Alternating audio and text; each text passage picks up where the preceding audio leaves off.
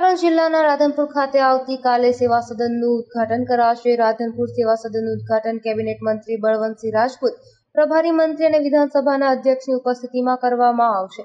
Radhanpur Mehsana highway પર બનેલી નવીન building સેવા સદનનું ભવ્ય ઉદ્ઘાટન આવતીકાલે તારીખ એક છ બે હજાર ત્રેવીસને ગુરુવારના રોજ કેબિનેટ મંત્રી બળવંતસિંહ રાજપૂત પ્રભારી મંત્રી જગદીશભાઈ વિશ્વકર્મા, રાધનપુર ધારાસભ્ય લવિંગજી સોલંકી અને વિધાનસભાના અધ્યક્ષ શંકરભાઈ ચૌધરીના હસ્તે કરવામાં આવશે. આ પ્રસંગે સમગ્ર ભારતીય જનતા પાર્ટીના કાર્યકર્તાઓ અને અધિકારીઓ સહિત રાધનપુર વિસ્તારના લોકો મોટી સંખ્યામાં ઉપસ્થિત રહેશે. ખૂબ જ આનંદની વાત છે.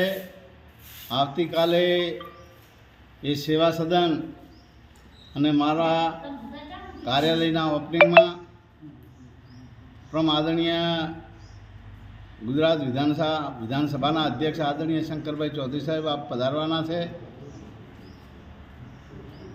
બલવંતસિંહ રાજપૂત સાહેબ અને વિશ્વકર્મા અમારા પાટણ જિલ્લાના પ્રભારી આવવાના છે અને એમના હાથે એ ઉદ્ઘાટન થવાનું છે અને નવીન જે ઓફિસ છે અહીંયા સેવા સદન છે એ ખૂબ જ અદ્યતન સગવડ સાથે લોકોને પૂરી પૂરી એનો લાભ મળશે અને ખૂબ જ આનંદની વાત છે.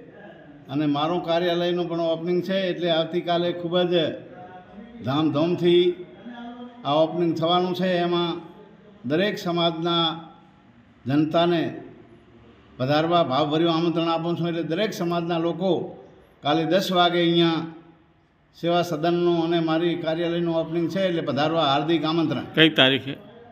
આવતીકાલે એટલે કે પહેલી તારીખે દસ વાગે પધારવાનું. બ્યુરો રિપોર્ટ અને રામાનુજ રાધનપુર.